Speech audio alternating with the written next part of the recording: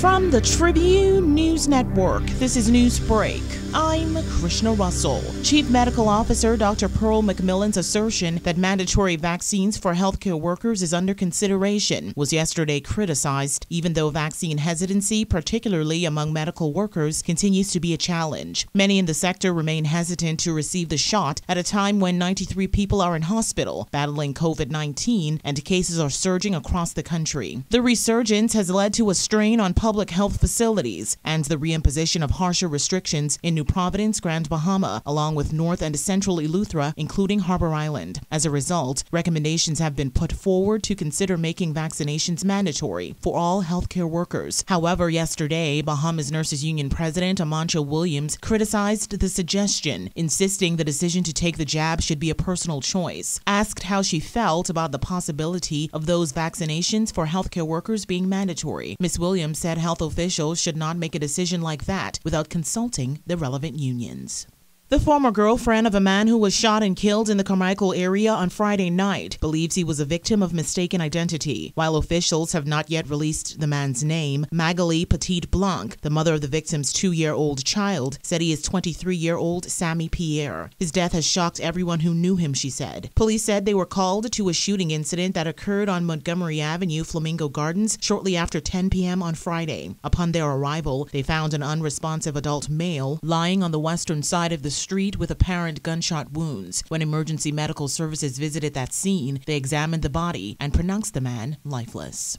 Bahamas Power and Light Company is at the advanced stages of their restoration efforts in Abaco post Hurricane Dorian, according to Chief Operating Officer Ian Pratt. Speaking to reporters after a recent tour of their Wilson City power station, Mr. Pratt said about 63% of its customer base on the island has had power restored since the deadly hurricane devastated it in September 2019. With over $40 million invested in restoration efforts, Mr. Pratt said the company has restored power supply to more than 5,000 to 700 of its 9,000 customers there. Still, he admitted there remained several buildings and structures that were unable to receive power at the moment as they were in various stages of reconstruction. Prime Minister Dr. Hubert Minnis is expected to address the country at 8 p.m. Wednesday regarding his administration's continued fight against COVID 19. Dr. Minnis will announce a series of measures to assist with the care of people in hospital with COVID 19, steps to limit the further spread of the virus, and an update on the country's efforts to secure more vaccines. The announcement comes as two additional deaths and 100 new cases of the virus were recorded on Friday. The fatalities are a 66 year old man and a 44 year old man from New Providence. They there have now been 282 deaths because of COVID 19. Your complete news and information source this is the Tribune News Network. In international news, the United States will keep existing COVID 19 travel restrictions on international travel in place for now due to concerns about the surging infection rate because of the Delta variant, according to a White House official. President Joe Biden earlier this month said that his administration was in the process of considering how soon the U.S. could lift the ban on European travel bound for the U.S. after the issue was raised by German Chancellor Angela Merkel during her visit to the White House. The official said while the administration understands the importance of international travel, cases are rising in the U.S., particularly among those who are unvaccinated, and will likely continue to increase in the weeks ahead.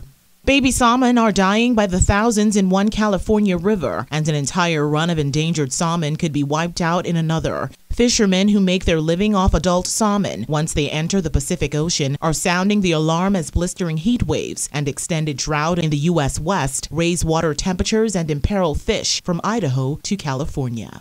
The Tribune's AccuWeather update a service of Bahamas Power and Light Company. The interaction of a westward moving tropical wave and an upper level low will enhance weather across the Bahamas today, while a high pressure ridge is draped across the area. Boaters and residents should remain vigilant for possible waterspout activity. The public should remain hydrated and be alert for signs of heat exhaustion as we go about our day. For all areas, it'll be variably cloudy, hot, and humid, with widely scattered showers and isolated thunderstorms, turning turning fair and warm with passing showers tonight. Gusty winds and higher seas are expected during showers and thunderstorms. Winds east to southeast at 10 knots or less. Seas 1 to 3 feet. We'll have a daytime high temperature of 91 degrees, a heat index of 103, and an overnight low temperature of 75. The sun will set this afternoon at 7:56 and will rise tomorrow morning at 6:35. That's Newsbreak. Details of the day's top stories in the Tribune newspaper now on the streets or stay up to date online at tribune242.com.